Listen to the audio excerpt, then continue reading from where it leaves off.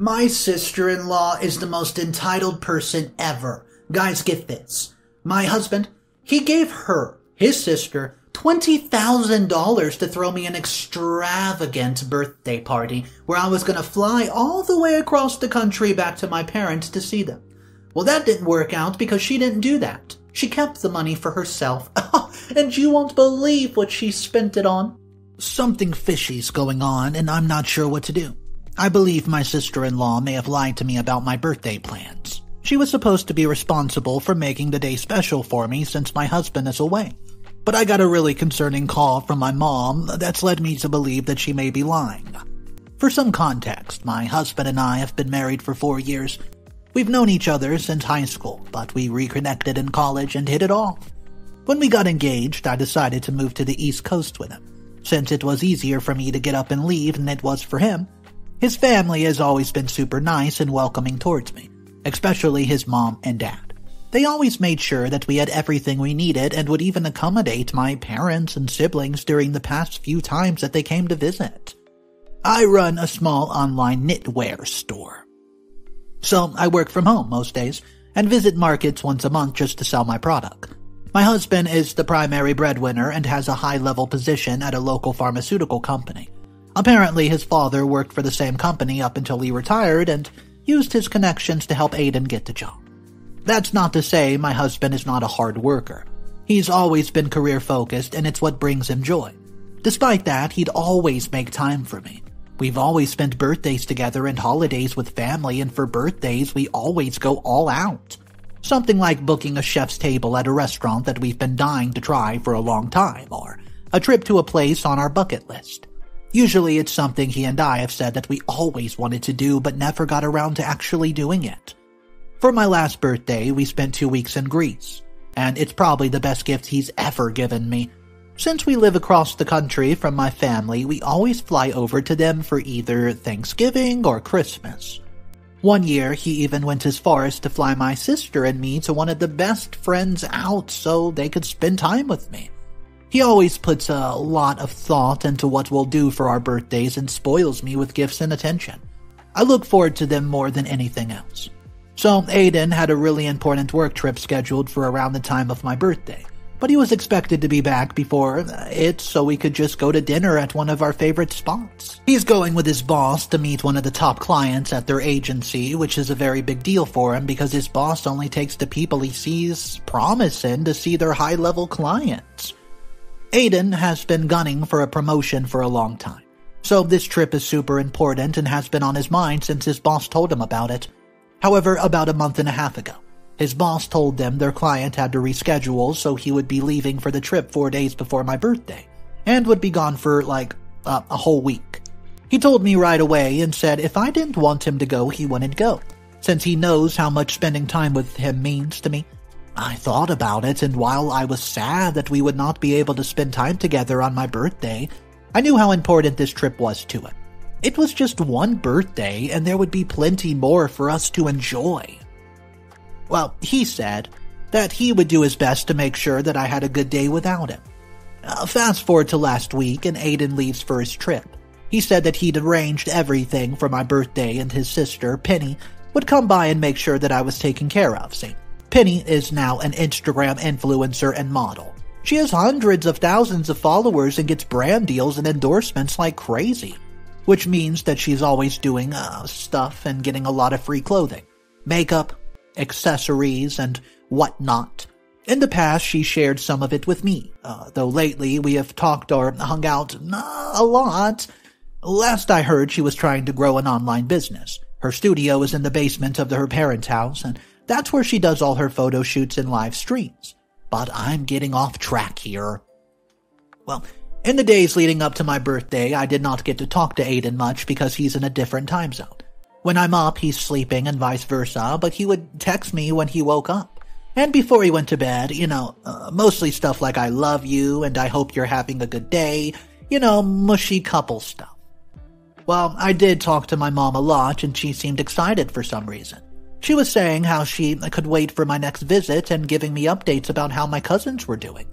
She asked me how Aiden's trip was going, which I didn't even know that she knew about, but I guess they've been talking. Nothing out of the ordinary. I talked to his parents too. One time before she hung up, she said that she would see me soon, but at the time I didn't think anything about it. So, this morning, Penny comes over and says Aiden tasked her with making my special day fun. So, we spent the day at the spa. We got massages, sat in the sauna, got facials, and got our nails did. Then later that evening, we had a dinner at one of my favorite spots. We ate our fill, ordered dessert, and the staff even sang happy birthday to me. Was it grand? No, but I had a lot of fun, and it was nice talking to and hanging out with Penny. You know, I thought it might have been weird since we were so far apart in age, but she was really cool and funny. I'll admit, something seemed off about the whole spa day and dinner. This isn't me being ungrateful, but considering all the things Aiden had done for our birthdays, up until this point, I, you know, thought it seemed a little basic. I'm used to my birthday celebration being super well thought out, you know, not grand or expensive, but unique. I tried not to dwell on it though, because I know Aiden had been super busy at the time of his trip. So maybe he had to think of something really fast and easy to book, and I also had not had a spa day in so long. Before I get to this next part though, I need to preface it with the fact that I don't use my phone a lot when I'm out.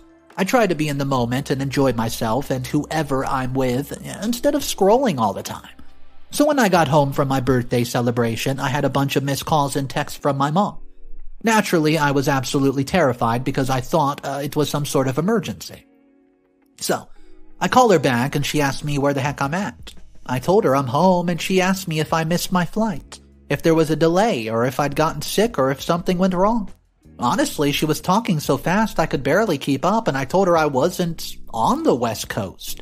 Nor was I coming to the West Coast until the holidays like I always do. Well, she explained to me that Aiden told her I was coming over for my birthday. He sent roses, wine, and cake to the house and ordered catering so I could have dinner with my family for my birthday. Now, I'm incredibly confused. I told my mom I was going to get to the bottom of this, and I told her to just enjoy the food and the cake without me having to call or text. Well, I texted Aiden under the circumstances to tell him about this because I didn't want to stress him out when he was already on such an important trip. The first thing I did was call Penny. I asked her if Aiden had planned anything else for my birthday, and she said no. He just told her to make sure that I had a good time. Then she asked me if I didn't have fun or if she has done something wrong. She sounded really, really defensive, you know. And I told her, oh no, I had a lot of fun, I was just asking. My next move was to call her and Aiden's parents. They're out of town but nearby, and it wasn't going to be too late. They picked me up right away and wished me a happy birthday, and they said that they wanted to call earlier but figured I would be busy celebrating. I asked if they were in on my birthday surprise. They said no. Both Penny and Aiden have been very secretive about it because they didn't want the surprise to get ruined. And their mom is known to blabber. They asked me if I had a good day and all, but at that point I was so confused that I needed to sit alone and think, so I thanked them and hung up the phone. Now, here I am. It's late, which means Aiden is probably getting ready for work, and I'm debating calling him and asking what's up. I know something is very, very wrong, Penny's definitely lying to me about my birthday plans, but I don't want to stress him out because, ugh, who knows? He's already wound up dealing with his company's clients. He's going to be home in just two days, so I should just wait. Update number one. I decided to wait on Aiden. Maybe confronting Penny like someone suggested would have been better in hindsight, but I didn't want to accuse her of anything and ruin our relationship over a simple misunderstanding. Well, it turns out that everything is much worse than I imagined. So when Aiden came home, he walked through the door and stared at me with silent confusion, and asked me what the hell was d- uh, going on and what I was doing home already. I told him I never left. He just sat down on the couch and buried his face in his hands, and I said I spoke to my mom. And she said that he'd send food, flowers, and cake to the house, and that she said I was supposed to come visit for my birthday.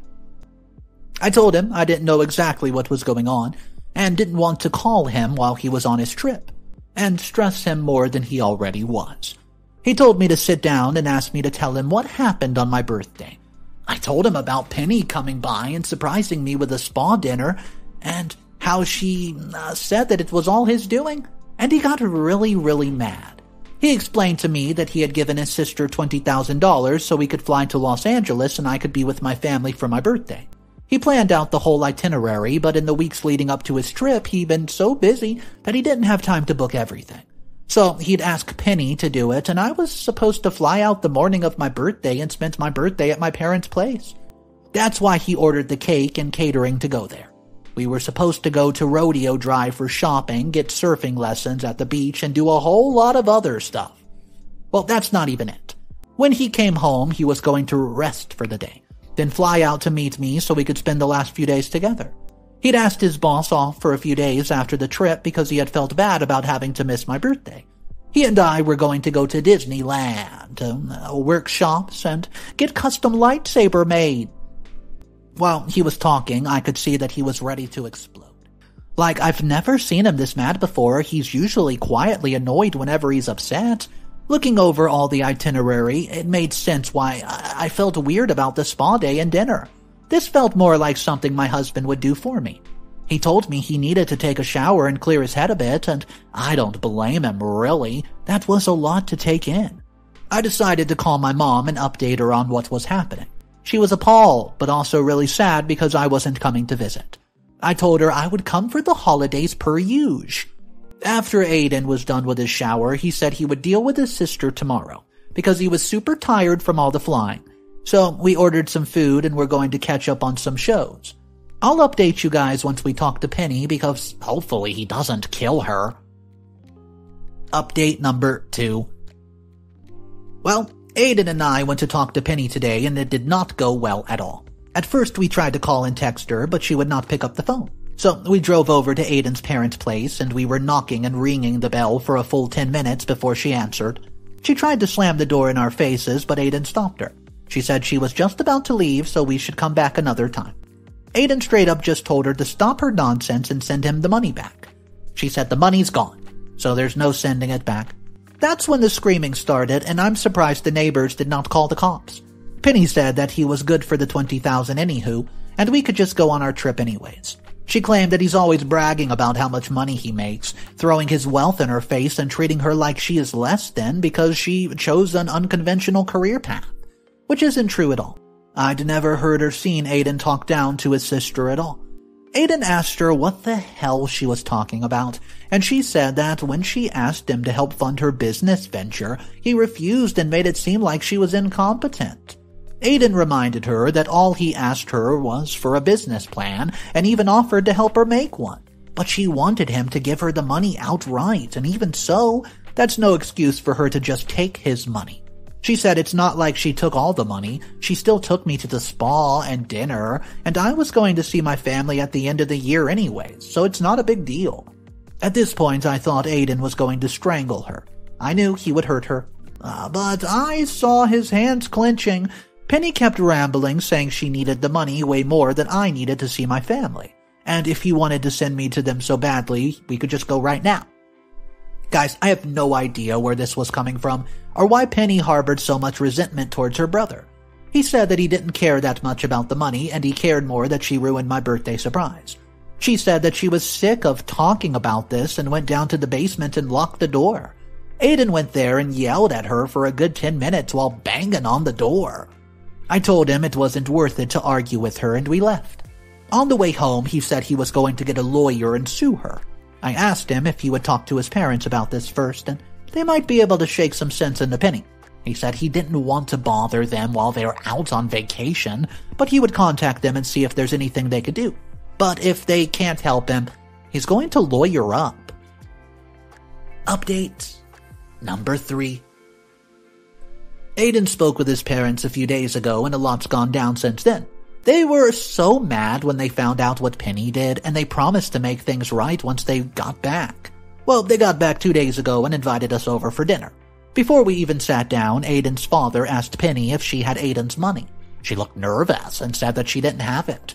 But it's not a big deal because Aiden had a lot more money than he knew what to do with. Her dad calmly told her that she had one week to get out of the house and that she would be paying Aiden back one way or the other. She asked her mom if they were really going to do this, and her mother said yes. What she did was unforgivable. You know, not only did she steal from Aiden, she also robbed me a chance to see my family, and she was uh, unrepentant about it. Penny broke down and said that she needed the money to pay the bank. Apparently, she's been involved in some controversial Instagram stuff years ago and lost a good chunk of her following because of it.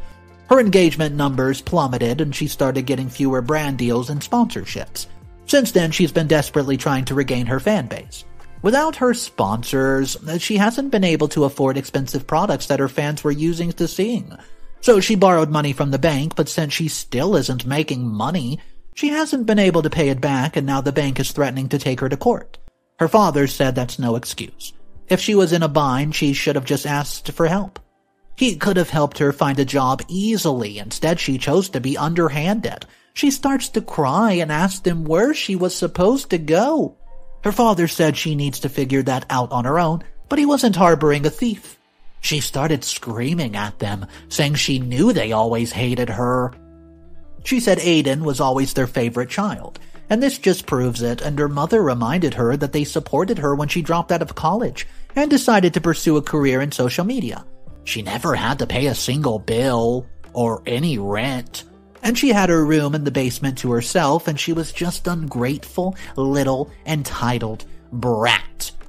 Penny tried to lock herself in the basement in protest, but her father had changed the locks on the doors while she was out earlier in the day. He said all the camera equipment and stuff in there, along with the stuff that she got from the brands, would be used to pay Aiden back. They also promised to make it up to me for my birthday. We had dinner. Penny did not join us, and when we left, she was still crying in her room, and that's where we're at now. I doubt much will happen uh, more from here, but I'll keep you guys posted just in case. Update number four. Hey, it's been two weeks and my in-laws have followed through on their threat. Penny is out of the house and a lot of her stuff is on eBay. They even had a full-on yard sale to get rid of some of her other things. And my father-in-law explained to me that this was not the first time Penny had stolen. Back when she was in college, she stole from her mom to pay for some passes for a party that she couldn't even legally go to because she was under 21 and there would be alcohol present and he said when it happened, he told her if he caught her stealing again, she would be out of the house, and I guess she just didn't take him serious. Altogether, they managed to raise around $10,000 so far, but there's still lots more to sell. Penny had a manner of designer clothes and accessories, some of which she never even wore. She had a thing about never wearing the same outfit twice, so uh, most of the stuff was lightly used at best. I was tempted to buy some of it, you know, but Aiden said he wanted no connections to Penny at all. And if there's anything I would like, he should just buy it for me anyways. Aiden's parents are also helping us plan a trip to the West Coast next month. We're going to go to Vegas and drive over to California to visit my folk, so I can have a do-over birthday party. My mom is over the moon. She was really looking forward to seeing me on my birthday, and Aiden just needs to get the vacation time approved. As for what happened to Penny, she's now living with her maternal grandparents out of the country. They live in the sticks of a super rural neighborhood uh, around six hours away, and I've only met them once, you know, uh, when they came down for the wedding. Aiden says they're cool, but super strict and extremely religious, and they were the only people willing to take Penny in after what she did, and, you know, it spread around the family. His mom used to threaten to send him and Penny there when they misbehaved when they were kids. Even uh, when the $20,000 she stole, she still has a large portion of the loan to pay off so she had to get a job at a local coffee shop. One time, uh, you know, on top of that, her grandparents make her pay rent. I saw her complaining on Facebook about how she barely has anything left at the end of the month. She's been bashing Aiden and her parents, saying they ruined her life and her career. As if it wasn't already ruined by her mismanagement. That wasn't enough. One of her old followers saw her working in the coffee shop and posted a picture of her online. People were clowning her so much that she had to turn off the comments on all her posts. According to what I read, Penny used to flaunt her expensive clothing and accessories a lot, and used to make fun of people who were broke and had to work minimum wage jobs just to get by, which is part of the reason she lost her fan base. But that's everything that's happened, and I'm just glad that this big ol' mess is finally cleared up. I didn't want to see Aiden and Penny fighting uh, this out in court, and I have my trip to look forward to. Top comments from the original post and all the updates. Comment number one says, It serves you right for being a thief, OP. Um, OP, by the way, you're a saint for uh, talking your husband out of suing. Because if it were me, I would have owned her. And I agree with your husband, you not getting to see your family, who you barely see at as it is, is so much worse than the money. You could always make more money, but she robbed you of something super special. And that's unforgivable. I'm glad your husband was at at least able to get some of his money back and that you'll be able to see your family again. I just hope your sister-in-law learned from this because she seems like a really bitter, mean-spirited person. Comment number two, most hated comment on the final update says no. I agree that uh, what your sister-in-law did was unforgivable, but her parents basically ruined her life. I mean, why would they go to the extreme of kicking her out onto the street? They could have still sold her stuff to recoup the money, taken the basement away from her, and made her get a job to pay off the rest of the loans. Also, it's their fault she's like this. It sounds like they spoiled her rotten. They let her drop out of college, bought her all the stuff she needed, and didn't even try to teach her how to be a responsible adult? Why didn't they make her pay rent or even a bill? They taught her no life skills and set her up for failure. Terrible, terrible parents.